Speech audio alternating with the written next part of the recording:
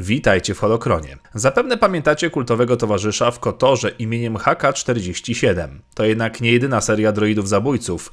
Jego następca, HK-50, również jest wart uwagi, dlatego dziś pogadam właśnie o tym modelu. Materiał dotyczyć będzie legend. Zapraszam. Droidy HK-50 zostały po raz pierwszy zaprojektowane i wyprodukowane w tajemnicy przez Jedi, który przemienił się w Sita. Mowa oczywiście o Rewanie w jego wojnie z Republiką. Dalsze modyfikowanie i ulepszanie projektów jego pierwszego modelu HK, czyli 47, doprowadziło do powstania 50, które miały być używane jako sabotażyści na pokładach okrętów wojennych Republiki. Plan został wstrzymany, a produkcja ustała po schwytaniu Lorda przez Radę Jedi. Jakiś czas po zniknięciu Rowana, produkcja była kontynuowana pod kierownictwem droida G0T0, czyli Goto, który odkrył fabrykę HK-50 ukrytą na Telos 4 i reaktywował ją, rozpowszechniając na nowo utworzone droidy HK-50 w całej galaktyce w poszukiwaniu Jedi.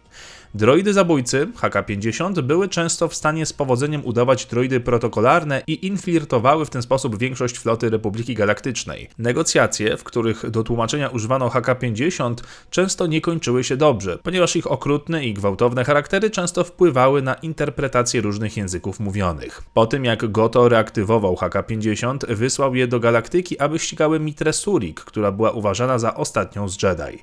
Jednemu z modeli udało się zinfiltrować główny statek Republiki, Harbingera, i był obecny, gdy Surik została zabrana na pokład jako pasażer.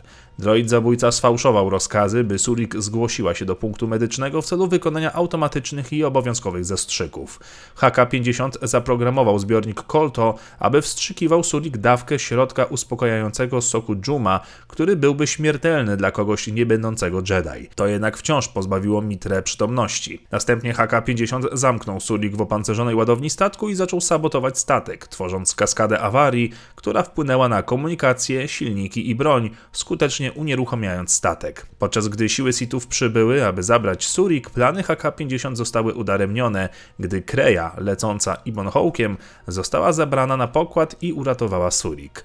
Resztę tych historii poznacie oczywiście grając w drugą część Kotora. Wszystkie HK-50 wskazują szereg cech wspólnych dla droidów serii HK, w tym okrucieństwo, ekstremalną żądzę krwi, mizantropię, sporą dozę arogancji, niezwykłą biegłość w zabijaniu i w walce, a przy tym są zwodnicze i przebiegłe, a także są prawdziwymi oportunistami w szukaniu możliwości spowodowania śmierci. Innymi słowy, są to droidy dość psychopatyczne. W przeciwieństwie do większości modeli HK-50 zostały zaprojektowane z myślą o atakach masowych i sabotażu.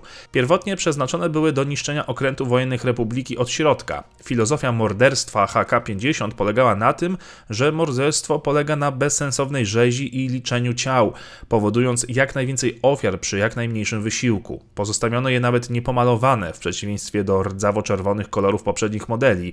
Ulepszono także ich słowniki, usuwając ładunki elektrostatyczne.